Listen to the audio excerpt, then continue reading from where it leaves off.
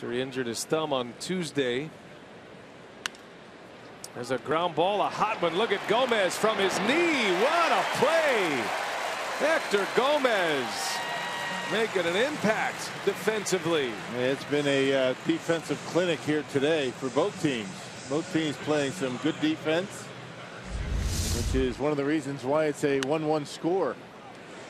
Going down to get it, and he's got plenty of arm to get the out from his knees.